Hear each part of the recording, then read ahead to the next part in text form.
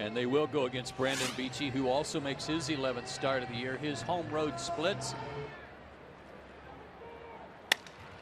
Ground ball, first chance for Simmons. He fields cleanly and makes a pretty play. Beachy strikes him out.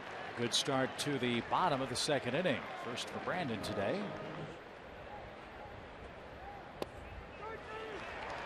Right down the middle and a called third strike.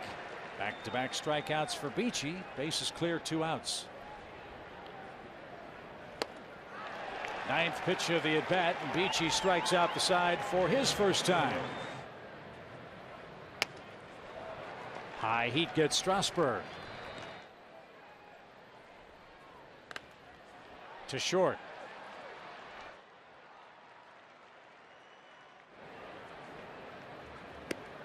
And a swing and a miss. Espinosa down on strikes for the second time in the game.